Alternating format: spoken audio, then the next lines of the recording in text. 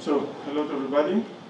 I'm going to give you a short presentation about uh, two innovative uh, projects that we have uh, implemented uh, in Greek highways.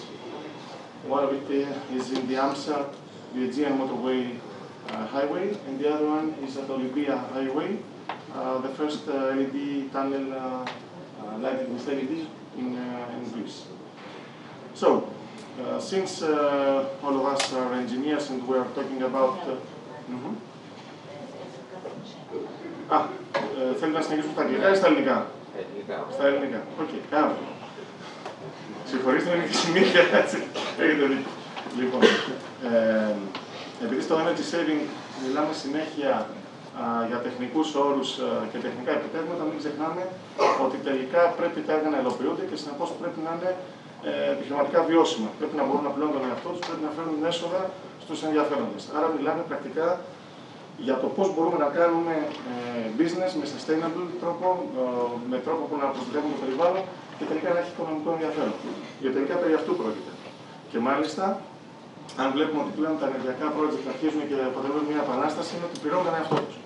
Είναι έργα τα οποία είναι πρακτικά αυτοχρηματοδοτούμενα.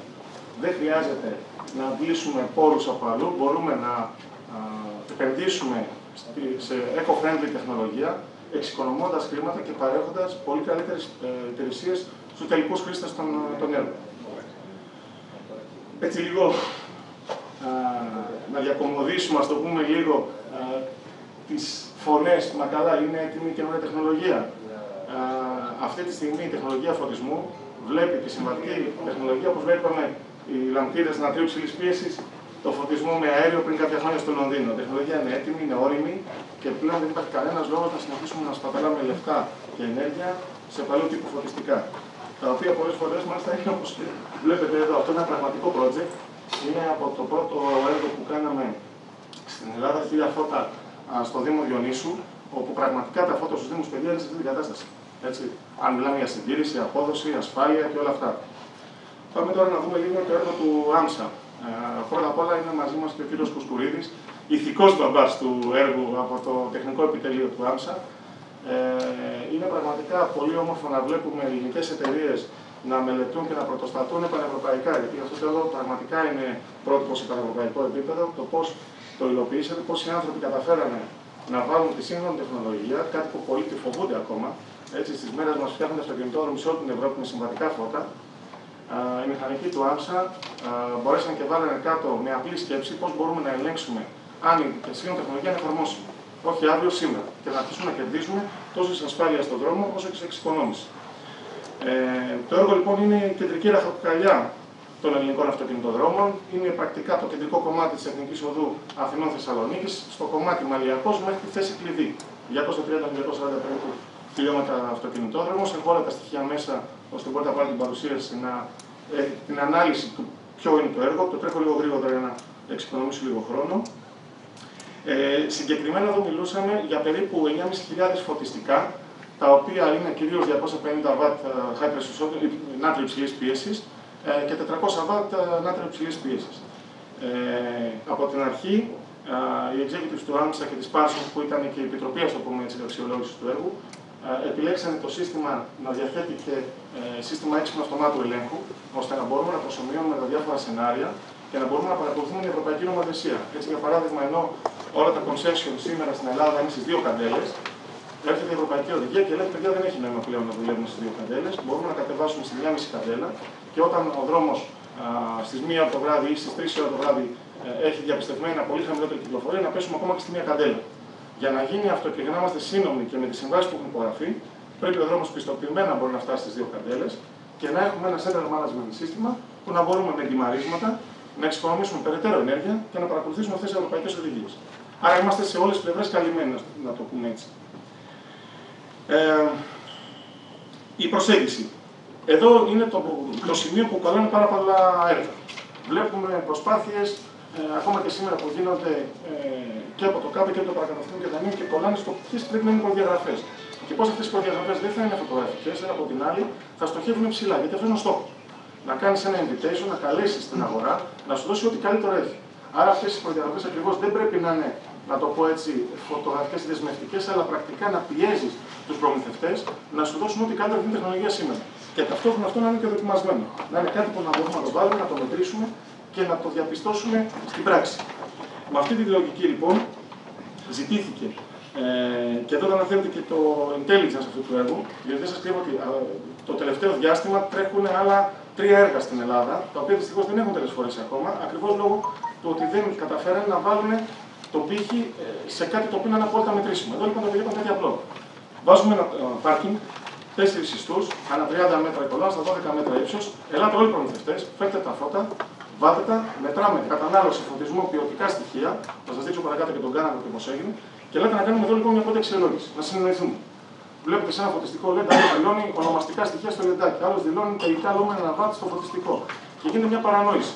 Το έχουμε είναι πολύ απλό. Σου λέει άμεσα, εγώ έχω 9.500 φώτα. Ξέρω πόσο πληρώνει ρεύμα, ξέρω πόσο καίει. Αν εσύ μου δώσεις ίδιο ή καλύτερο φωτισμό και μετρήσω πόσο καίνε τέσσερα φωτιστικά, ποια είναι τα χαρακτηριστικά, συνημήτωνα, ποια είναι τα χαρακτηριστικά κατανάλωση, να το πούμε έτσι, και ποιο είναι το επίπεδο φωτισμού, έχουμε πρώτο. Τόσο απλό και τόσο ωραίο. Αυτό πραγματικά είναι αυτό που πρέπει να κάνουμε. Δηλαδή, κάποια στιγμή πρέπει να κάνουμε αυτό που τα μολύβια κάτω. Φτάνουν πολλές θεωρίες, φτάνει πολλή επιστήμη. Σήμερα τι έχουμε αυτό; Μπορούμε ρε παιδιά να το πιάσουμε με την τεχνολογία; Μπορούμε. Τι εξοικονομούμε, τι γλιτώνουμε, είναι εφαρμόσιμο. Τότε έχουμε πρώτο. Έτσι. Αυτή λοιπόν ήταν η προσέγγιση. Ε, το, το σημείο ελέγχου, όπως σας είπα, ήταν ένα ε, πάρκινγκ που δεν χρησιμοποιείται, χρησιμοποιείται μόνο για τέστην ε, στον δρόμο. 12 μέτρα ύψος, όπως σας είπα, 30 μέτρα κολόνα από κολόνα. Εδώ για παράδειγμα υπήρχαν κάποιες, να το πούμε έτσι, γκρίνιες. Στην Ελλάδα ζούμε πάντα κάποιος θα πει δεν το κάνεις καλά. Ο δρόμος δεν έχει παντού 30 μέτρα. Ναι, παιδιά, δεν έχει 30 μέτρα παντού. Έχει και 35 και 38 και 40 και 45. Ελάτε να βάλουμε όμως μία γραμμή να συνεννοηθούμε ε, το φτάνουμε αυτό το πύχη. Και αν το φτάνουμε, θα δείτε παρακάτω ότι έγινε αναλυτικότατη μελέτη όλων των χαρακτηριστικών του λόγου. Δεν είπαμε λοιπόν να κάνουμε απλουστευμένα έργα που να χάνουν πληροφορία, αλλά από την άλλη πρέπει να έχουμε μια προσέγγιση η οποία είναι εφαρμόσιμη. Το πεδίο λοιπόν που μετρήθηκαν όλες οι τηρήσει είναι αυτό. Υπήρχε λοιπόν ένας κάναβος ο οποίος προσεγγίστηκε και θεωρητικά και πρακτικά, δηλαδή και μέσω Dialux Relux αλλά και μέσω α, του πεδίου μετρήθηκαν καινούργια φωτιστικά του υφιστάμενου φωτισμού. Πήραν οι άνθρωποι καινούργια φωτιστικά με καινούργιες λάμπες high pressure sodium, τα μετρήσαμε, να δούμε τι έχουμε σήμερα. Σας θυμίζω ότι αυτή δεν είναι η κατάσταση στον αυτοκινητόδρομο. Στον αυτοκινητόδρομο έχει φωτιστικά τα οποία είναι τριετίας, τετραετίας, πενταετίας, δεν είναι όλα τέλος συντηρημένα. Σωστά όμως οι άνθρωποι βάλουν τον πύχη ψηλά. Πες ότι εγώ από το πρωί κάνω σερβι και το φέρνω στο 100% να είναι καινούργια συμβατική τεχνολογία. Κάνεις μύτη αυτά τα χαρακτηριστικά. Αν κάνεις, μιλάμε. Αν δεν κάνεις, άστο. Τόσο απλά και τόσο ωραία. Λοιπόν, ε, επίσης, πραγματικά και δεν το λέω επειδή εδώ είναι ο κ. Κουσκουρίδη, εμείς σαν ελληνική εταιρεία, α, είμαστε ελληνικό εργοστάσιο, Έλληνες κατασκευαστές, συμμετέχουμε σε διαγωνισμούς σε όλο τον κόσμο.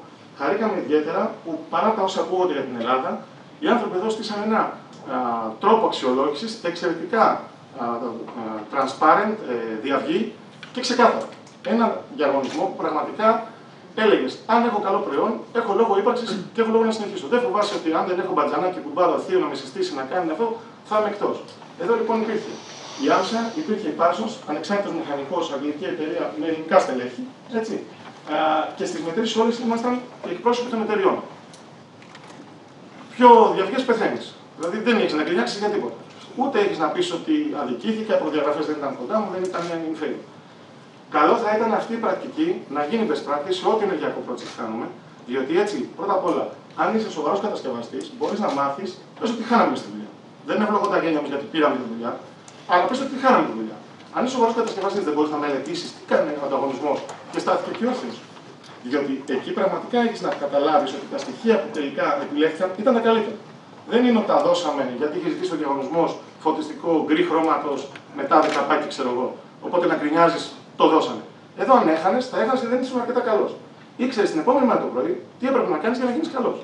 Γιατί πιο υγιέ, ρε παιδιά, για να μπορέσουμε όλοι μας να εξελιχθούμε σε, σαν τεχνολογία σε οποιοδήποτε αγορά και να φωτισμό, ψήξη, θέρμανση, οτιδήποτε κάνεις. Λοιπόν, εδώ είναι ο κάναβος για το site μετρήσεων, ε, όπου περνάμε ένα μεγάλο αριθμό μετρήσεων, επιβεβαιώνονταν αυτά και στο ε, Dialogs και μετά ερχόμασταν και τα μετράγαμε και σε σχέση με τα σημαντικά. Για να δούμε τι κάναμε τόσο σε ποιοτικά όσο και σε ποσοτικά στοιχεία φωτισμού. Έτσι. Ορισμένες φωτογραφίες από τους πραγματικούς ήρωες των εγκαταστάσεων. Ε, το έργο έγινε χειμώνα, όλοι μας από πάνω χιονισμένος. Ήταν οι μετρήσεις βράδυ, διαφάνει και λέει ο Δημήτρης. οι βραδινές μετρήσεις με την υγρασία ήταν πραγματικά έτσι λίγο ε, περίεργες, ας το πούμε. Ε, ένα πρώτο σημείο, τη φωτογραφία αυτή την έβαλα πιο πολύ για τις μετρήσεις, αλλά αρχίζουμε και βλέπουμε εδώ, ξεχνάμε το zebra effect. Όλοι μας ταξιδεύουμε σε αυτοκινητόδρομο στην Ελλάδα και κινδυνεύεις να σε πάρει ο ύπνος γιατί έχεις φως σκοτάδι, φως σκοτάδι, φως σκοτάδι. Σαν προσπαθεί κάποιος να σε ανανουρίσει. Με το που βάλαμε τα LED, είδαμε ομοιομορφίες πολύ πάνω από 0,75 και 0,80. Τελικά καταλήξαμε σε ομοιομορφίες 0,90. Αυτό πολύ απλά σημαίνει μηδέν να είχαμε εξοικονομήσει. Μόνο και μόνο για την ασφάλεια πρέπει να πάνε όλοι αυτοκινητόδρομο σε LED. Και ας μην κλειτώνουμε τίποτα από λεφτά. Το site των μετρήσεων. Λοιπόν, αυτό που σα έλεγα για την ομοιομορφία. Άμα εδώ κρύψουμε τις κολόνες, δεν μπορεί να πει κάποιος από κάτω που είναι οι κολόνες. Είναι φωτισμένα καλύτερα και από αρχιτεκτονικό γραφείο. Εδώ μέσα στην αίθουσα, άμα δείτε, έχει μαύρες κυλίδες. Δεν έχει uniformity πάνω από 0,70 μέσα στην αίθουσα. Εδώ το uniformity είναι 0,90. Έχει ιδιαίτερη σημασία λοιπόν να καταλάβουμε ότι δεν είναι το βίτσιο κάποιων pioneering που θέλουν να τα κάνουν όλα green, όλα πράσινα, δεν ξέρω τι, ή να αλλάξουν εκατομμύρια. Εδώ μιλάμε ότι πραγματικά μπορούμε να βελτιστοποιήσουμε την ασφάλεια με την οποία ταξιδεύουμε. Μπορεί ένας μοτοσυκλετιστής να είναι ορατός σε μεγάλη απόσταση. Ανέβαινα χθες το πρωί στη Θεσσαλονίκη και ήμουν γύρω στις 4,5 ώρες στον δρόμο και είχε φύγει η αναγόμωση από ένα φορτηγό στην αριστερή λωρίδα ήταν γεμάτο αναγόμωση. Είχα μπροστά μου τρεις μηχανές που μου περάσανε, παιδιά περάσανε οριακά πάνω θαλάσσια. Γιατί πολύ απλά δεν φαινόταν. Και δεν μπορείς να το δεις, γιατί ο δρόμο βλέπετε πώ είναι σήμερα. Με το high pressure. Έτσι, δεν μπορείς να δεις αναγωμώσει όταν έχει uniformity 0,55-0,60. Και μιλάμε ότι ο Άμσα είναι από τους καλύτερους αυτοκινητόδρομου που υπάρχουν όχι μόνο στην Ελλάδα. Έτσι. Είναι η τεχνολογία που σου δίνει την ικανότητα με το λεντάκι να έχεις σημειακό φακό και να μπορείς να απλώνεις το φωτισμό εκεί που πρέπει. Ομοιομορφίες 0,90 πραγματικά είναι αυτές που μπορούν να αλλάξουν τον τρόπο που ταξιδεύουν. Έτσι. Εν τω μεταξύ το αδικεί πολύ το, ο projector, αν θα μπορούσε να σας έδινε την οθόνη του υπολογιστή, είναι πραγματικά breathtaking. Το πόσο διαφορετικό, το πόσο αλλάζει ο τρόπος που φωτίζουμε πλέον τους δρόμους. Επίσης σημαντικό. Ε, μπορείτε να δείτε ότι ακριβώς πίσω από τα κάγκελα έχω σκοτάδι. Συνεπώς δεν έχω φωτορύπανση. Στέλνω το φως καθαρά εκεί που χρειάζομαι, γιατί η εξοικονόμηση δεν είναι μαγικό τρόπο. Η λάμπα αναπρίου είναι μια λάμπα που εκπέμπει το φως της χαοτικά, 360 μοίρες. Έτσι και προσπαθώ με το reflector να το στείλω εκεί που πρέπει. Στο λεντάκι έχω διαμαντάκια πίτατα έτσι, που είναι οι φακοί που κάθονται πάνω στο λεντάκι και μπορώ και κατευθύνω το φως ακριβώς εκεί που θέλω. Και θα δείτε μετά που θα σας δείξω στη μελέτη, που μελετήσαμε 44 υποπεριπτώσει του δρόμου, κόμβους, στρογγυλούς, ανισόπεδους, άντερπα, έτσι.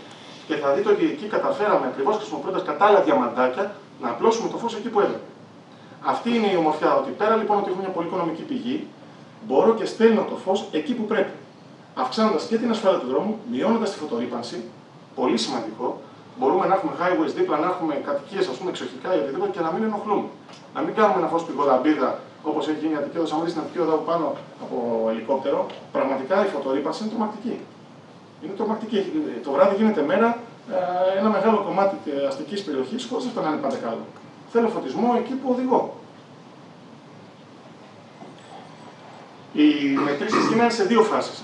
Η πρώτη λοιπόν, η πρώτη, έγινε τον Απρίλιο του 2015, όπου μετρήσαμε αρχικά, μιλάω για Μουαγέν, έτσι, δεν παρουσιάζω α, τα δικά μας αποτέλεσματα. Σκοπός δεν είναι να μιλήσουμε για τη δική μας εταιρεία, σκοπός να μιλήσουμε το πώ προσεγγίζει την τεχνολογία.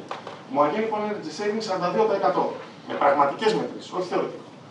Και το UL ε, πήγε από το, το 0,69 το καλύτερο που το HPS, πιάσαμε τουλάχιστον 0,75. Πρακτικά, μάλιστα, εγώ στο Δημήτρη το έστειλα το mail την επόμενη ακριβώς μέρα, το ίδιο κάναν και όλοι οι συνάδελφοι από τις υπόλοιπες εταιρείες. Στείλαμε όλοι mail, δικαίωμα παίρνει παραπάνω βελτίωση. Γιατί, γιατί είχαμε το πεδίο να τεστάρουμε τα φώτα μας και να δούμε ότι μπορούσαμε πρακτικά να βελτιώσουμε ακόμα παραπάνω το προϊόν μας. Οι άνθρωποι καθίσανε, συζητήσανε, μας στέλνουν επιστολές. Παιδιά, θα έχετε δυνατότητα νέας επαναληπτικής, ετοιμάστε τους φακούς σας, ετοιμάστε τα προϊόντα σας, βελτιστοποιήστε το αποτέλεσμα. Ελάτε εδώ να μου δώσετε προϊόντα tailor ε, για τον αυτοκινητόδρομο. Άλλο ένα κέρδος πρακτικό του πώς μπορείς να συνεργαστείς σωστά ένας φορέας, ένας μεγάλος πελάτης, όπως μπορεί να είναι ένας αυτοκινητόδρομος, μια μεγάλη ιδιωτική εταιρεία, ένα υπουργείο, με την αγορά. Έτσι, όταν κάνεις πραγματικούς διαγωνισμούς, σε παίρνεις στα σοβαρά η αγορά, τα αποτελέσματα δεν μπορούν να αμφισβητηθούν και όλοι ανασκουμπωνόμαστε και λέμε πάμε να κάνουμε κάτι καλύτερο. Η δεύτερη φάση λοιπόν μας πήρε ένα χρόνο να ξαναμαζευτούμε. Έτσι. Αρχικά είχαμε πει όλοι, και εγώ ο ίδιος πήρα το Δημήτρη, σε τέσσερις μήνες θα είμαι πίσω. Δεν ήμουν σε τέσσερις μήνες πίσω. Γιατί όταν πήγαμε πίσω και σηκώσαμε τα μανίκια, και εμείς και όλοι οι άλλοι χρειαστήκαμε και 7 και 8 και 9 και 10 μήνες. Και αυτό όμως είναι το ωραίο, ότι πρακτικά ε, γυρίσαμε πίσω και κάναμε πραγματικό engineering. Δεν είναι ότι ήρθαμε, αλλάξαμε και πραγματάκια να πικουλώσουμε κάτι. Αποτέλεσμα. Φτάσαμε 56% energy saving. 56% energy saving, βελτιώνοντας την ομοιομορφία και βελτιώνοντας τον φωτισμό, παιδιά δεν είναι εύκολο. Έτσι, πραγματικά νούμερα. Όχι θεωρητικά, όχι whistle. Στο πεδίο, στην τσέπη μας, θα τα δουν τα παιδιά στο λογαριασμό. Έτσι, έχει μεγάλη σημασία αυτό. Το uniformity, όπως σας είπα, όλης της παρέας, όλων των ανταγωνιστών. Γιατί έχει σημασία αυτό. Μια αγορά οριμάζεται, όχι όταν υπάρχει μια εταιρεία. Μια αγορά οριμάζεται όταν υπάρχουν 4-5 σοβαροί ανταγωνιστές. Και λες λοιπόν, και μπορούμε να το πούμε σήμερα. Μιλάω συγκεκριμένα στον αυτοκινητόδρομο, φωτίζουμε βιομηχανίες, φωτίζουμε και άλλα έργα. Σήμερα, όποιος θέλει και μπορεί και κάνει ένα σωστό διαγωνισμό, θα πάρει σωστά προϊόντα. Είτε τα πάρει από εμάς, είτε τα πάρει από 4, 5, 6 σοβαρούς ανταγωνιστές. Αυτό έχει ιδιαίτερη σημασία. Δεν υπάρχει πλέον ο κίνδυνος ότι θα κάνω έργο και θα την πατήσω. Αρκεί να μπορείς να βάλεις τα σωστά κριτήρια και να προσελκύσεις τους σωστούς βέντορ. Η ομοιομορφία ήταν όλες τις παρέες πάνω από 0,82. Ό,τι και να ψωνίσεις είναι καλό. Πάνω από το 0,80 είναι εξτραβαγκάντζα. Το αν είναι 0,82, 0,85, 0,89, έχεις πάρει καλό προϊόν. Έχεις βελτιώσει σημαντικά την ασφάλεια στον δρόμο σου. Έτσι. Το συνολικό lighting performance ήταν πολύ καλύτερο. Τα φωτιστικά LED είναι όλα cut-off. Υπάρχει νομοθεσία περί cut-off, η οποία δεν είμαι σίγουρος ότι εφαρμόζεται στα συμβατικά φώτα. Υπάρχει μεγάλη κουβέντα για το τι γίνεται. Στα φωτιστικά τα LED είναι εξορισμού cut-off. Δεν δημιουργούν θάμβωση, δεν τυφλώνουν. Έχουν πιο κρίσπη φως. Μεγάλη κουβέντα για το τι γίνεται στο βορρά. Αν είναι καλύτερο το LED για την υγρασία την ομίχλη ή δεν είναι. Στην Ελλάδα έχουμε μάθει και ζούμε με ένα πολύ φωτεινό ήλιο. Στον ήλιο αυτό που τον προσεγγίζουμε πολύ καλύτερα με τα 4-4,5 Kelvin που βγάζει το LED και όχι με τα 3-800-3,5 που βγάζει ε, το high pressure sodium. Αν μιλήσουμε για Γερμανία, αν μιλήσουμε για Νορβηγία, και εκεί υπάρχουν συζήτηση, αλλά ελάτε εδώ να κουβεντιάσουμε. Στο κάτω-κάτω και το LED μπορούμε να το κατεβάσουμε μέχρι και τα 2.500 Kelvin. Το σίγουρο είναι ότι οδηγώ Αύγουστο στην Ελλάδα. Έχω έναν ήλιο ο οποίος είναι πάνω από τα 5.000 Kelvin. Και αυτό τον ήλιο που θέλω να οδηγήσω. Μην με βάλεις σε ένα τούνελ με 3.000 Kelvin και 2.800 Kelvin. Πολύ σημαντικό κέρδος. Έτσι. Ε, το τρέχω λίγο, πόσο χρόνο έχουμε, γιατί ξεκινήσαμε τη 18. Είμαστε ήδη Είμαστε ήδη εκτό χρόνο. Παιδιά, εδώ 10 λεπτά μιλάω, δεν νομίζα. λοιπόν, ξεκινήσαμε και 20. Ε, Επίσης, πολύ σημαντικό, το τρέχω όσο πιο γρήγορα γίνεται. Ό,τι θέλετε πάντα από μετά ή να τα πούμε κατηδίαν. Πολύ σημαντικό. Ε, είδαμε ότι πραγματικά δουλεύει το Central Management System. Ε, το νάτριο απλά δεν τιμάρεται. Όταν πας να τιμάρεις το νάτριο, καταστρέφεις τη ζωή του και τελικά εξοικονομείς πολύ λιγότερη ενέργεια ενώ χάνεις πολύ περισσότερο φως. Στο LED είναι proportional. Μειώνω το φωτισμό 30%, μειώνω την ενέργεια 30%, μειώνω την ενέργεια 50%, μειώνω το φωτισμό 50%. Δίμαρε το όσο θες, καλό του κάνεις, κακό δεν του κάνεις. Όσο το έχω τιμαρισμένο, το τροφοδοτικό του κοιμάται, τα λετάκια κοιμούνται, δεν ζεσταίνεται, καλό του κάνεις. Το είδαμε στην πράξη. Το είδαμε στην πράξη πόσο εύκολο είναι. Είναι ένας αυτοκινητόδρομο 240 χιλιόμετρα, δεν θα χρειαστεί καμία καλωδίωση, ασύρματα θα τα συστήματα, θα μπορεί κάθε φωτιστικό ανά πάσα στιγμή να μας μιλάει. Τι εννοώ να μας μιλάει; Έχεις ένα φωτιστικό που πρέπει να καίει 700 mAh και να έχει την νίξη τάση. Ε, αν για κάποιο λόγο ή οι τάσει στα mAh αλλάξουν, σου ανάβει alert. Πρόκειται να χαλάσω. Αρχίζω και καίω άλλα ονομαστικά. Θα χαλάσω. Θα χαλάσω δύο μήνες. Στο λέω όμως ότι θα χαλάσω, το ξέρεις. Έτσι για παράδειγμα τα Χριστούγεννα δεν χρειάζεται στο χιόνι να τρέχεις να αλλάζει λάμπες. Πήγαινε αρχές Νοεμβρίου και κάνει συντήρηση. Εγώ στο είχα θα χαλάσω. Μετά, ε, κάθε φωτιστικό έχει όνομα. Κάθε φωτιστικό όνομα, το είναι συγκεκριμένο. Μπορώ να τιμάρω συγκεκριμένο κόμβο. Ή σκεφτείτε για παράδειγμα ότι ακολουθούμε την Ευρωπαϊκή Οδηγία και είμαστε στη μία μισή καντέλα. Είναι μία το βράδυ και είμαστε στη μία καντέλα. Και συμβαίνει ατύχημα. Ο Δημήτρης μπορεί με ένα κουμπί στο συγκεκριμένο ατύχημα να βάζει το φωτισμό σε δύο καντέλες. Έτσι. Έχω ένα ζωντανό δρόμο. Αυτό συμβαίνει σήμερα, συμβαίνει οικονομικά και πρακτικά το Energy Saving πληρώνει αυτή την εφαρμογή.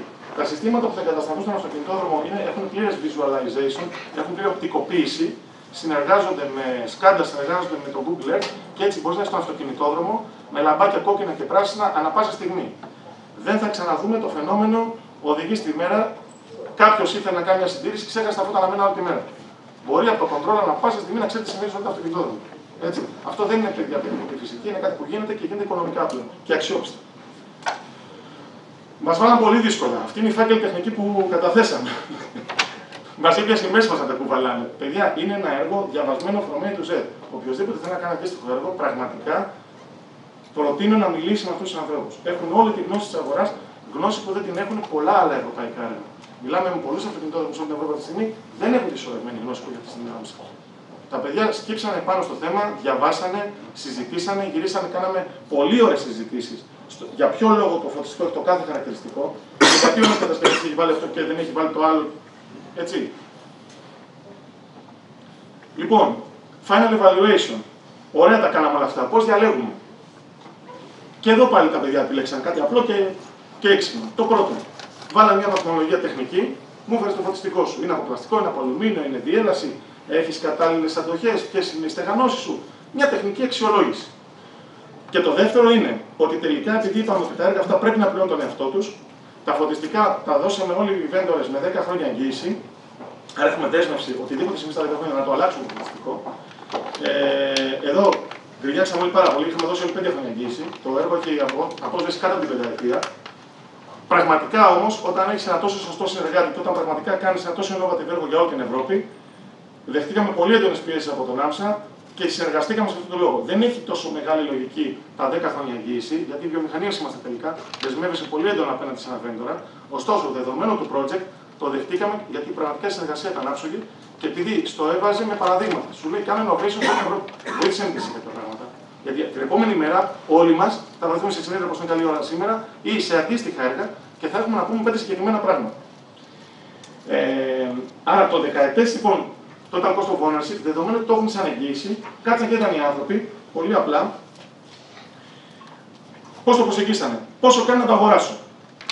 Τελικά όμως μπορεί ένα πιο ακριβό φωτιστικό να είναι πιο οικονομικό. Γιατί; Γιατί το φωτιστικό έχει μια κατανάλωση και πρέπει να δω αυτή η κατανάλωση τη δεκαετία τι μου εξοικονομεί. Την εγγύηση που κουμπώθηκε στα 10 χρόνια, πόσο και τα φώτα μου το χρόνο, και αυτό πλέον έγινε διτερμινιστικό, δεν έγινε ποτέ και ο 10, ο 12, ο 14. Από τη στιγμή που έχω το σύστημα κεντρικού ελέγχου, τα καίω συγκεκριμένες ώρες. Αυτές ακριβώς που θέλω και αυτές ακριβώς που ορίζονται στην πρώτη πρώτη τη κάθε, κάθε χρονιάς. Και φυσικά το κόστος κιλοβατόρας στον δρόμο που το ξέρουμε καλύτερα α, εσωτερικά και το οποίο μπορεί να αλλάξει ανάλογα με τον προμηθευτή ρεύματος. Αλλά αυτό είναι ίδιο για όλους τους vendors. Το πολύ σημαντικό εδώ, για να αρχίσω λίγο να γυρίσω πάλι στα Eco Green, έχω βάλει εδώ και τα σηματάκια να μην μιλάμε ξύλινη γλώσσα. Υποχρεωθήκαμε και καλά κάναμε από την Αζραήλ να είναι όλοι στο ίδιο προφίλ. Αλλά πρέπει να ξεφεύγουμε λίγο γιατί γίνεται δουλειά, παιδιά. Μιλάμε για πολύ σημαντική εξοικονόμηση διοξιδίου του άνθρακα, ουσιαστική. Όταν έχει αυτοκίνητο με 240 χιλιόμετρα και του κάνεις εξοικονόμηση ε, κοντά στο 60%, ε, τα νούμερα, παιδιά, είναι πραγματικά τρομακτικά. Και επίσης είναι ένας τρόπος να βγάλεις χρήματα. Να βγάλει χρήματα το κράτος, να βγάλουν χρήματα τα concession, να βγάλουν χρήματα οι vendors που προμηθεύουν ε, αυτά τα έργα. Ε, μιλάμε περίπου για 7 εκατομμύρια κιλοβατόρες γλιτώνουμε το χρόνο. Έτσι. Τάξη μεγέθους 850 με 900.000 ευρώ χωρίς το τιμάρισμα. Μόνο και μόνο βάζοντας LED μπορούμε να κάνουμε το ταξίδι μας πιο ασφαλές και να γλιτώνει ε, το concession περίπου ένα εκατομμύριο το χρόνο με το τιμάρισμα τα νούμερα παιδιά μιλάνε από μόνο τους. Κάθε μέρα που περνάει, χάνεις λεφτά, προκαλείς ατυχήματα, δεν υπάρχει κανένας λόγος να μην πας σε αυτή την τεχνολογία. Και φυσικά το payback period είναι αρκετά κάτω από 4,5 χρόνια, 4,5 χρόνια το worst case. Ε, τελικά, μας πίεσαν ακόμα λίγο παραπάνω και το, σαν, α, σαν βιομηχανία πέρασαν δύσκολα μαζί του με το πώς μας ξεζούμισαν. Τελικά όμως, σαν μηχανικός, και σήμερα σας μιλάω σαν μηχανικός, είναι ένα έργο που έγινε πολύ σωστά και δεν είναι κακό να πιέζει το vendor υποχρεωτικά γιατί μαθαίνει και αυτός και έχει πιο efficient τρόπους παραγωγής, πιο efficient σχεδίαση προϊόντος και τότε φτάνει ε, η, τεχνολογία, να το πω έτσι, και παντρεύεται με την οικονομία και αρχίζουν τα project και γίνεται rollout. Στο συγκεκριμένο έργο λοιπόν των 10.000 φωτιστικών επιλέχθηκαν δύο vendors. Ε, μοιράστηκε το έργο δηλαδή 5.000 και 5.000 φωτιστικά έτσι, μέχρι και το τελευταία μέρα κάτι μας κόβανε, κάτι γλιτώνανε, κάτι παίρνανε. Τελικά όμως το έργο είναι κερδισμένο. Και είμαστε κερδισμένοι κι εμείς, γιατί και εγώ βρίσκομαι περήφανα σήμερα εδώ και σας λέω ότι παιδιά θα παραδοθεί ένα πολύ ωραίο έργο. Ένα πολύ ωραίο έργο, σωστά πληρωμένο, δεν θα δόθηκε ούτε ένα ευρώ παραπάνω από εκεί που έπρεπε και ένα έργο που μπορούμε να μάθουμε και να είμαστε περήφανοι και σαν Έλληνες, αλλά μπορούμε να το κάνουμε σε συνέδρια και να το δείξουμε προς τα έξω. Παραλαμβάνω, εμείς είμαστε ελληνική βιομηχανία ε, και το τελευταίο ευρώ που θα πληρωθεί θα μείνει στην ελληνική οικονομία. Και αυτό είναι τεράστιο κέρδος, παιδιά. Έτσι. Και είμαστε μια εταιρεία που σταθήκαμε σε 28 ανταγωνιστές. Και όταν είναι τόσο σκληρός ο τρόπος που σε ελέγχει και σε τσεκάρει ένας φορέας όπως είναι τα παιδιά του Άμσα, θεωρώ ότι αυτό είναι διπλόφιλο. Ε, ερχόμαστε τώρα εδώ για να μην υπάρχει γκρίνια. Μα καλά, ρε παιδιά, ωραία, μαγκε είστε. Μελετήσατε 30 μέτρα κολόνα και νομίζατε ότι κάτι κάνατε. Όχι, δεν είναι έτσι. Γιατί όταν καταλήξαμε στους δύο vendors, ήρθαν και μας δώσαν 44 διαφορετικές περιπτώσεις, βγάλαμε τα μάτια μας, συνεργαστήκαμε με φορείς του Βετσοβίου Πολυτεχνείου ε, και άλλων εταιριών μελετητικών και μπορέσαμε και δώσαμε ένα ε, τριμαρισμένο στον πόντο, να το πω έτσι, έργο.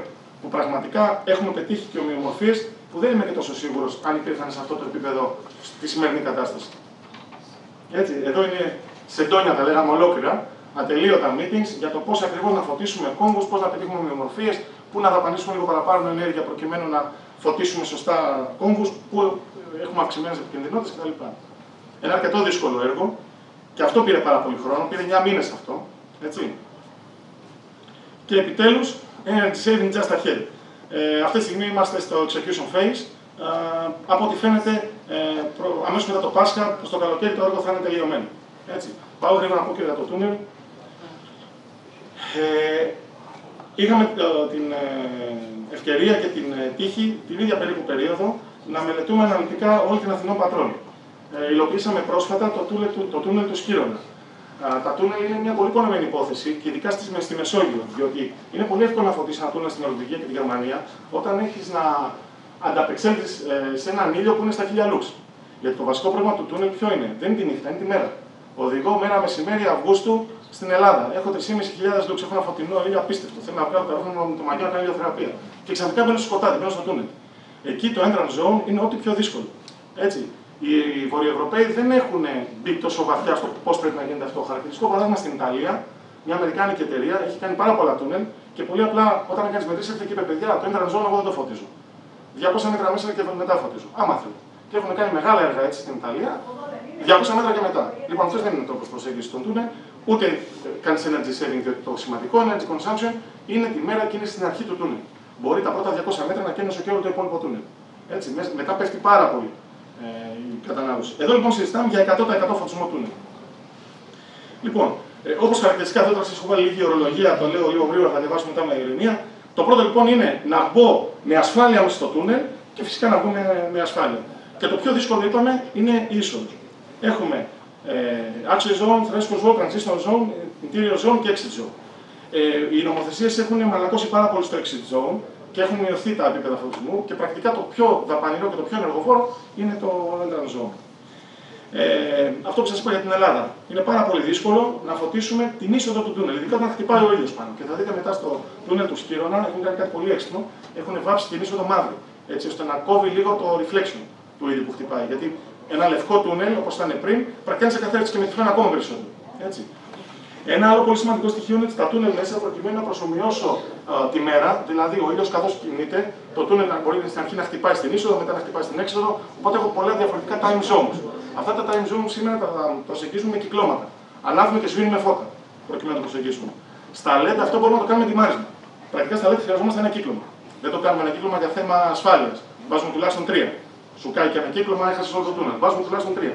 Πρακτικά όμως με τιμάρισμα μπορείς να τιμάρεις ένα 1% και να κάνεις ένα σενάριο που να παρακολουθείς τον ήλιο όλη τη μέρα. Ε, Επίσης πολύ σημαντικό στα τούνελ ότι μιλάμε, πάμε να χτυπήσουμε ένα πολύ φωτεινό ήλιο, μπορούμε να το φωτίσουμε στα 4.500 Κέλβιν. Και φεύγουμε από τα κυτρινοπά αυτά αχρά τούνελ που ό,τι σου γκάζει και να δώσει το φως δεν μπορείς να προσωμιώσεις το φωτεινό ελληνικό ήλιο. Ε, δεν υπάρχει ανάγκη για πολλά κυκλώματα όπως σας είπα και γι' αυτό μπορούμε επίσης να βελτιώσουμε την ομοιομορφία. Γιατί όταν έχεις 5 και 8 κυκλώματα και ανάβει βίνη, ό,τι και να κάνεις έχεις gaps. Ενώ όταν τιμάρεις τα φώτα έχεις συνεχόμενη ροή φωτισμού. Δεν έχεις λόγο να κάνεις gaps. Και αυτό κάνει πολύ μεγάλη διαφορά με στα τούνελ. Λοιπόν, τα τούνελ σήμερα είναι έτσι. έτσι. Ό,τι σου γκάζει και να δώσω εκεί, αυτό το τούνελ δεν μπορεί να νικήσει το φωτεινό ελληνικό ήλιο. Η σύγκριση το λέει από μόνο Κοιτάξτε πόσο κίτρινο φαίνεται το φως σε σχέση με τον ήλιο. Έτσι. Κοιτάξτε εδώ. Πόσο. Ποια είναι η απόχρωση του ήλιου και ποιο είναι το τούνελ. Ό,τι και να κάνουμε, το κίτρινο δεν μπορεί να είναι λευκό. Βάψαμε μαύρη την είσοδο του τούνελ. Δεν έχει reflection πλέον. Έτσι. Και βλέπετε ήδη μέσα τα, τα LED πόσο φωτεινά είναι πρακτικά είναι το ίδιο χρώμα με τον ήλιο. Δεν έχει χρωματική διαφορά. Έτσι. Το εσωτερικό του τούνελ. Δεν έχει σκιάσεις. Δεν σβήνει ποτέ τίποτα. Δημάρε. Έτσι. Το τρέχω λίγο γρήγορα. Τα φωτιστικά είναι ειδικά σχεδιασμένα. Το περιβάλλον του τούνελ είναι πολύ απαιτητικό, διότι έχουμε έχουμε υγροποίηση των καυσαρίων στην οροφή λόγω του, του κρύου από το χώμα, να το πούμε έτσι. Οπότε έχει έντονα επιθετικά όξινο περιβάλλον. Είναι φωτιστικά IP68 σχεδιασμένα να αντέχουν στο περιβάλλον και να του ζήσουν πάρα πολλά χρόνια. Επίσης, πολύ σημαντικό στα τούνελ είναι ότι δεν χρειάζεται συντήρηση. Είναι πολύ δύσκολο να κλείσω τη λωρίδα ενό τούνελ να κάνω συντήρηση. Άντε και στο ανοιχτό δρόμο στέλνω ένα καλαθοφόρο, μια φορά τα δύο-τρία χρόνια αλλάζω γλώμπο. Μέσα στα τούνελ είναι ολόκληρο θέμα. Άρα όταν του λες, σου φτιάχνω το τούνελ και το ξεχνάς για 10 χρόνια, αυτό είναι ιδιαίτερα σημαντικό. Και σε κόστος και σε ασφάλεια. Κάθε φορά που κλείνουν λωρίδα τούνελ, πραγματικά είναι ολόκληρη διαδικασία και με πολύ μεγάλα κόστη. Οι ασφαλιστικές δίνουν τεράστια καπέλα στο αυτοκινητόδρομο τη στιγμή που κινητούν. Είναι ειδικά ασφαλιστήρια αυτή τη στιγμή. Πολύ γρήγορα. Το τούνελ λοιπόν αυτό 242 φώτα, πραγματική μετρημένη τελική κατανάλωση 68%. Αυτή μπορεί να ξεπεράσει το 75%. Γιατί; Το τούνελ του Σκυρώνα ήταν φωτισμένο counterbeam, ασύμετρα. Έριχνε το φως προς τα μάτια του οδηγού, στο συμβατικό. Στο LED, επειδή ακριβώς θέλουμε να πάμε και εδώ βήμα-βήμα, τα κάνουμε συμμέτρια. Αν το κάνουμε counterbeam, μπορούμε να πέσουμε πολύ παρακάτω. Και η νομοθεσία που μας βοηθάει να το κάνουμε counterbeam, επιτρέπεται, όλα counterbeam είναι στην, ε, στην Ευρώπη. Έτσι, το κάναμε συμμετρικό. 30% βελτιωμένο uniformity. Εδώ δεν κάνουμε τίποτα μαγικό, μόνο και μόνο που δεν τα σβήνεις και τα τιμάρεις, έχεις συνεχόμενο φωτισμό. Έτσι. Και φυσικά 4.500 Kelvin. Το τιμάρισμα δεν το έχουμε εξαντλήσει. Δηλαδή, για να εξαντλήσει το τιμάρισμα πρέπει να κάτσεις με ομάδα μηχανικών να προσεγγίσεις όλα τα time zones. Έχει εγκατασταθεί, έχει δοκιμαστεί ποια είναι τα benefits. Πρέπει τώρα να κάτσουμε με το καινούριο στοιχείο που υπάρχει να το θέσουμε και αυτό στα ωριά του. Θέλει πολύ engineering ακόμα εδώ. Και τέλος, μια φωτογραφία πολύ σημαντική. Α σταματήσουμε να φωτίζουμε τα ούφο, ας σταματήσουμε να λειτουργούμε σαν ούφο. Το φωτισμό το θέλουμε στον δρόμο και όχι στον ουρανό. Ε, το πολύ σημαντικό talent λοιπόν είναι ότι είναι οικονομικές πηγές, κατευθυντικές πηγές φωτίζουν εκεί που χρειαζόμαστε. Το, το pollution ε, από το φωτισμό που γίνεται στη γη είναι κάτι τρομερό και το βλέπουμε σε αυτή τη φωτογραφία. Σας ευχαριστώ πολύ. Τότε πιο γρήγορα πεθαίνει. Πιστεύω κάτι